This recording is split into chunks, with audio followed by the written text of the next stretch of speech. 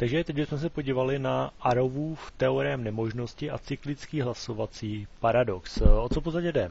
Jde v podstatě jakoby o to, že Arrow právě jakoby tvrdil, že vždycky, když se v podstatě jakoby určití lidé rozhodují o něčem, takže vždycky vlastně existuje určitý počet eh, stavů, jo, o kterých se vlastně lidé rozhodují a že v podstatě vždycky, když ty lidé se rozhodují o nějaké počtu stavů, tak všechny ty stavy dokáží uspořádat, uspořádat podle preferencí.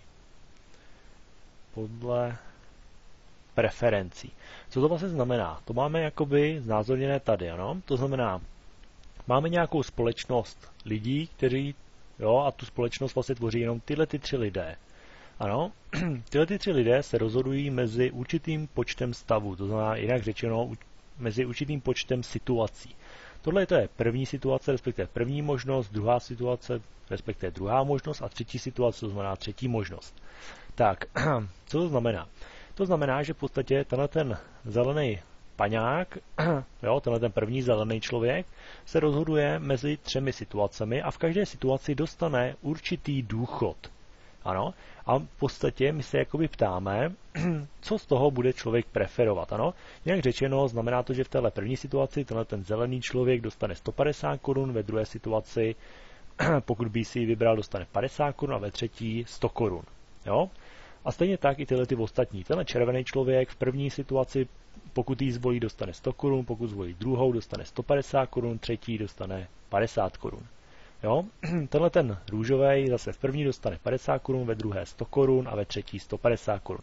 To znamená, že existuje určitý počet stavů, tyhle ty tři situace, a oni je mohou uspořádat podle nějakých preferencí, podle toho, co vlastně preferují. A to právě tím se budeme zabývat teď, ano, jak to vlastně uspořádají podle preferencí. Ten Arrow v podstatě jakoby tvrdil, že uh, takovýto základní kritérium, na základě kterého se vlastně většinou rozhoduje, je v podstatě takzvané většinové hlasování. No. Nebo většinové kritérium, jo. Většinové kritérium vlastně znamená, že se, že se vždycky volí ta možnost, pro kterou hlasuje největší množství lidí.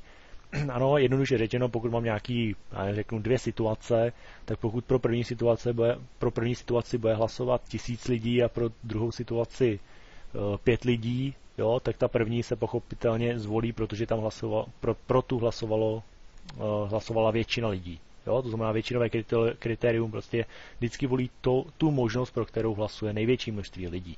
A to většinové kritérium teď vlastně aplikujeme tady na to. tak, a teď v podstatě o co teda půjde? půjde jakoby o tom, že nejdřív budeme rozhodovat mezi první a druhou no, první a druhou situací. Tak, o co jde? Jde o to, že vlastně, když teda rozhodujeme mezi první a druhou situací, tak vlastně nejdříve máme toho zeleného člověka a ten se teda rozhoduje mezi tím, jestli je lepší dostat 150 korun nebo 50 korun. No jasně, že je lepší dostat 150 korun, takže tenhle ten zelený člověk, když se rozhoduje mezi první a druhou situací, tak zvolí první situaci, že jo. jo? Jo, dívejte se na to jednoduše. On prostě jenom vybírá tu větší částku, jo, nic víc. Tenhle ten červený je zase to samý buď první situace dostane 100 korun, nebo druhá, druhá situace dostane 150 korun. Co je teda lepší? No pochopitelně pro ně je lepší v té druhé situaci dostat 150 korun, protože 150 korun je víc než stovka. Jo? Takže tenhle ten červený vybere druhou možnost. Jo? Nezapomeňte, že srovnáváme pouze tu první a druhou. Jo? Třetí tu teď nebereme v úvahu. Jo? Zatím. Tak, co tenhle růžový? Ten zase volí mezi první a druhou, tak co, co zvolí buď v první 50 korun nebo ve druhé 100 korun. No tak zase stovka je většiných 50, ne? Tak zvolí tuhle stovku, to znamená druhou možnost. Tak, co z toho vlastně plyne? No plyne z toho vlastně to, že vidíme, že když se řídíme většinovým kritériem, tak vlastně pro co většina lidí hlasuje? No pro tu druhou možnost, ne? To znamená, aby se vlastně ty důchody rozdělily tímhle tím způsobem. Jo? To znamená, většinové kritérium znamená, že prostě vezmeme uh, tu možnost, pro kterou hlasovalo nejvíce lidí. No a tyhle ty dva hlasovali pro druhou možnost a tenhle ten jeden pro první možnost. Takže většinové hlasování vlastně nám říká, že je lepší ta druhá možnost, protože pro tu druhou možnost hlasovalo víc lidí, jo? Dva. Červený a růžový. jo? Jinak řečeno nám to vlastně jakoby závěrem uh, říká, že druhá možnost je lepší než první možnost. Jo? Druhá možnost je prostě lepší než první možnost. Jo? Pro celou tu společnost, pro všechny ty tři lidi. Jo? Když to vezmeme jakoby obecně. Jo? Pochopitelně, že tenhle ten první by rád zvolil tuhle tu první možnost. Jo? jo? Ale my se řídíme většinovým kritériem, takže vlastně a z toho nám vlastně vyšlo, že druhá možnost je lepší než první možnost. Jo? Obecně. Jo? tak, teď budeme vlastně uh, řešit to samý, ale budeme rozhodovat mezi druhou a třetí možností. tak, o co jde? Tady v podstatě zase půjde úplně o to samý. Takže nejdřív tadyhle rozhoduje ten zelený paňák. Mezi druhou a třetí, mezi 50 korunama a 100 korunama. Takže co zvolí? No tak logicky 100 korun, to má třetí možnost. Jo? Co zvolí červený? Zase mezi druhou a třetí. To znamená zase vždycky volí prostě jo, to větší číslo, ty, ty jo, takže tady má, tady vlastně vybírá mezi 150 korunama a 50 korunama, no tak zvolí 150, že protože 150 korun je víc než 50, jo, jenom zase jednoduše se na to díváme. Takže zvolí druhou možnost. No a tenhle růžový, ten v podstatě volí mezi zase druhá třetí možnost, to znamená druhé dostane 100 korun, ve třetí 150 korun, takže pro něj je zase lepší třetí možnost.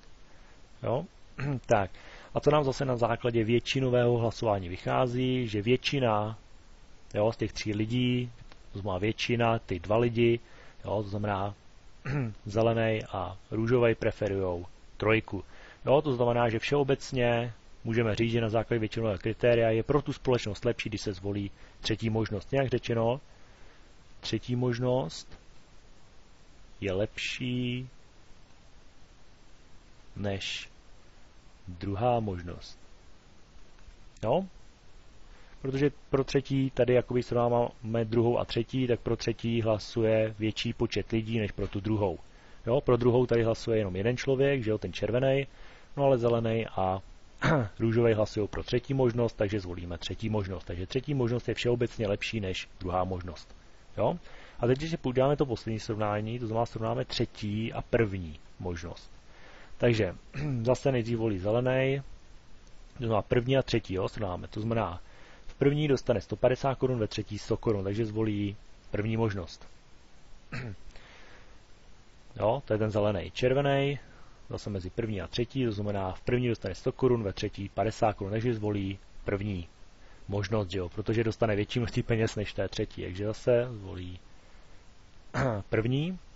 No a tadyhle růžový, ten zase mezi první a třetí, takže v první dostane 50 korun, ve třetí 150 korun, takže ten zase ale zvolí tu třetí, že jo. Protože 150 korun je víc než 50, jo. Ale co nám podle většinového hlasování vyjde? No, že zase dva lidi budou hlasovat pro první a druhou možnost, když, roz, když jakoby rozhodujeme pouze mezi třetí a první, jo, tak vlastně dva lidi budou hlasovat pro první možnost a pouze ten třetí, ten růžový pro třetí. Takže z, vě, z hlediska většinového kritéria je vlastně lepší zvolit první možnost. Nebo jinak řečeno,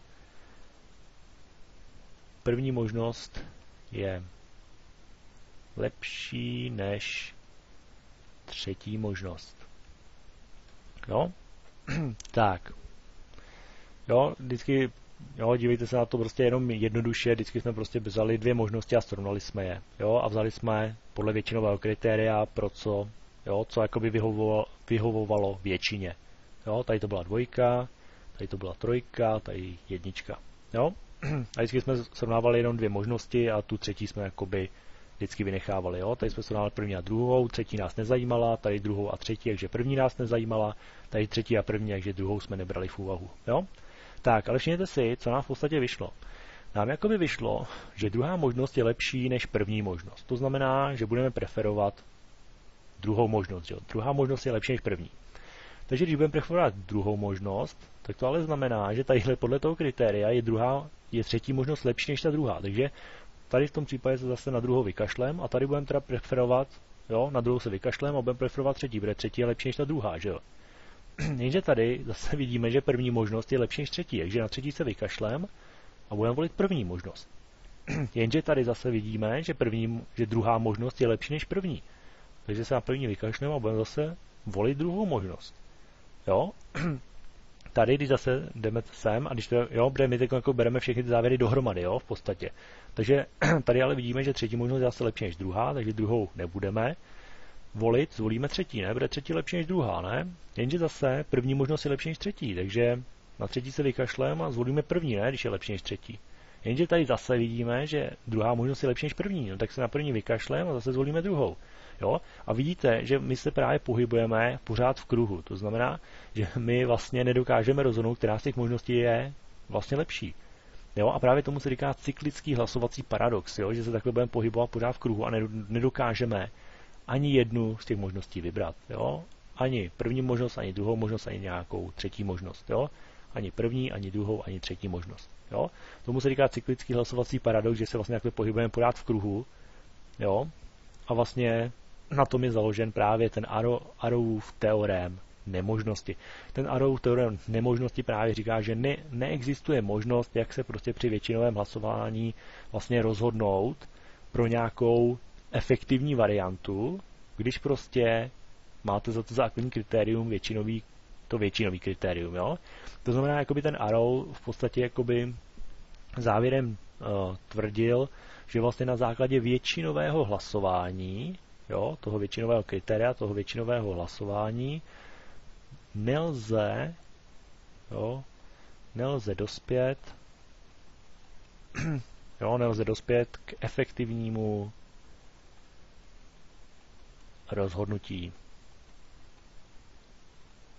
Jo, nelze dospět k efektivnímu rozhodnutí a zároveň přitom prostě respektovat, jo, a zároveň respektovat, jo, ty preference těch voličů.